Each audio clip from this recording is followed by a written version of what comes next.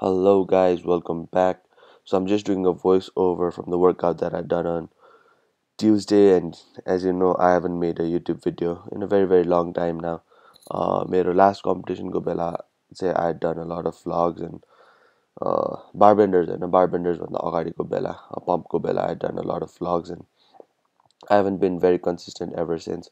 But now that i think i should start making more videos just because मैले मेरो अस्तिको like त्यो पुरानो भ्लग्सहरू हेरेको थिएँ it was a lot of fun हुन्छ नि लुकिङ ब्याक अनि how I progressed over the time and बारबेन्डर्स बेलाको I work really hard but then I don't have the behind the scenes अनि not just for you guys but then for myself पनि I just have the training videos but then I don't know how I was feeling like पिज्जातिरको प्रेपमा when it was really hard अनि uh, so now अब चाहिँ I'll do even though I get lesser views than my Instagram story on my YouTube here. That uh, yeah, I'll keep the progress in uh, competition with that. I'll know how it goes. So as you can see, uh, I'm just getting hyped up for squats. And uh, this day I had 177 kgs tempo squats, four sets of five repetitions. So tempo got the carry. It was supposed to be a 5 second eccentric as you can see I'm trying to go down as slow as I possibly can pause for a few seconds and come back up. So I did that for around uh, 4 sets of 5 reps. And having having been detrained after the meet so my work capacity is finally coming up because we're uh, three three weeks outside the meet three weeks post meet let's say. So my work capacity is finally coming back but then it's still a lot in uh, the time under tension on these exercises was crazy. So your video topic is regarding building a big back i suppose. Uh, so back say powerlifting training it's very very very super important. And training the back in a squat movement pattern uh, with the tempo is obviously very very helpful because it's specific to the training. And a lot of guys i've seen have the tendency tendency to fall over during the squats and this is one of the exercises to make it uh, better. So this day was my mm, i think the third working set which was the hardest working set. So i thought i'd share with you guys and show that even a lightweight like this can uh, be super effective.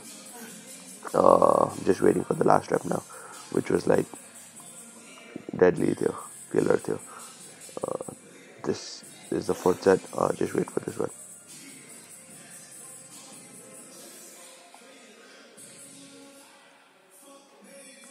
so here we go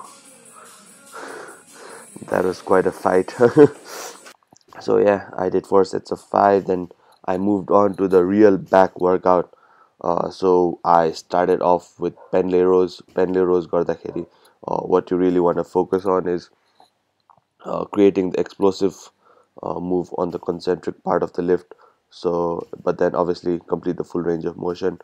Uh, any lower down at your own pace uh, i was just dropping the bar down which looks kind of silly. And the next set might correct it but then yeah. So yeah pull the bar really uh, in aggressive manner concentric I'm just using the blocks to decrease the range of motion. You always want to increase the range of motion of a particular lift but then my hamstrings and all were really tight. Plus the squat shoes has some elevation. So this area I was just using a using block so next time butters I'll definitely remove it. And that was Pendlay rows four sets of about 12 reps. Uh, once Pendlay rows were done I moved on to chest supported dumbbell row with a slow eccentric here as you can see I'm trying to lower the weight down as slowly as possible.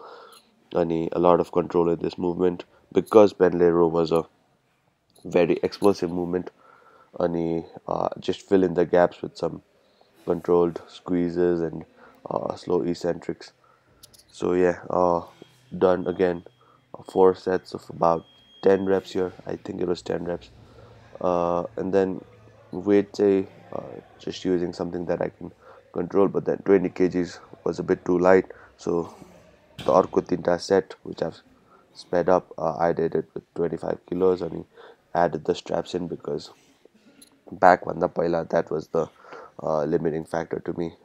I felt like so I just threw on some straps and I think Rose Garda straps are fine uh, as long as you've got enough grip strength to pull off a deadlift in my case back codwita exercise occupancy i moved on to do some uh, straight leg sit-ups superset it with bird dogs which i was holding for about uh, 10 5 to 10 seconds. Uh, straight leg sit-ups i did four sets of 25 so me i wasn't really a big fan of direct core work until my coach programmed it for me.